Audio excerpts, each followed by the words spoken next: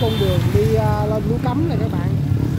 Ồ, rất là nhiều người đó các bạn thấy không? Quang cảnh của núi cấm không? Wow hoa oh, rực rỡ luôn.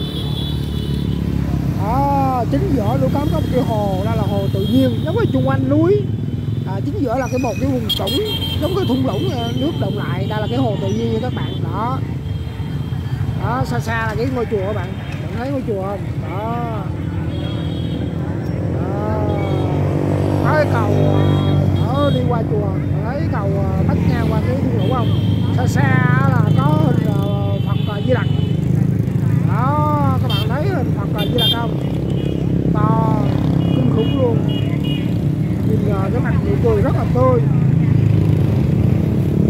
Đó, có rất nhiều khách du lịch đi qua cái cầu. Đây là cái hồ tự nhiên các bạn. Mới gì vô giống như Đà Lạt cơ không? Núi cấm ở An Giang.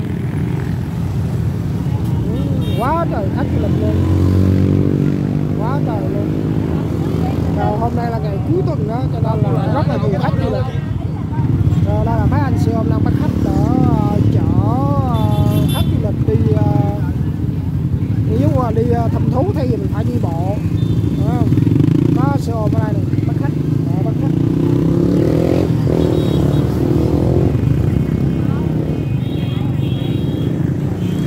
xa xa có chùa không? Chùa đẹp không? Luôn. Công nhận là quan cảnh đó là, sung sướng thì có cây cối rồi xanh rồi có hoa rồi. Rất là đẹp. Hoa rất đẹp. Nhìn vô giống như ở Đà Lạt ấy. Đó. xe nó nhui xuống rồi nhui xuống lũng rồi. Đó. có cái hồ tự nhiên hồ xa xa là có cái hình học Đà Lạt đó. Coi như là rất là tuyệt vời luôn là một sự trải nghiệm thật là tuyệt vời nếu như mà ai à, lần đầu tiên đến đây.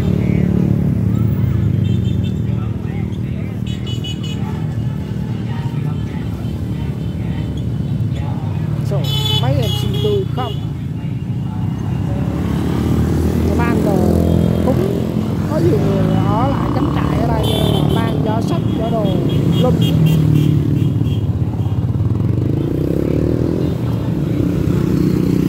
đó xe không xe xe ôm nó đưa người đi xuống từ ở dưới núi từ dưới núi rồi đi lên.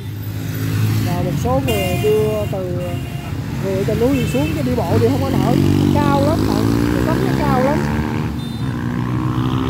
Rồi chúc uh, các bạn uh, một uh, ngày cuối tuần vui vẻ nha hay là giống như là mình đang uh,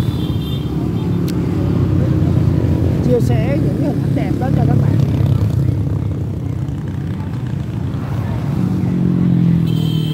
Ồ, đông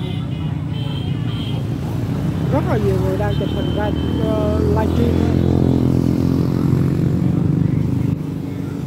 biết là là bán ờ, hàng quán ăn cây cối rồi xanh mát y là lạ.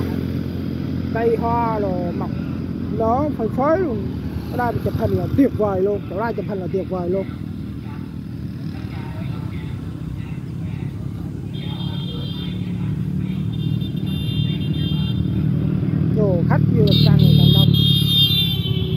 báo tới 7 giờ sáng à.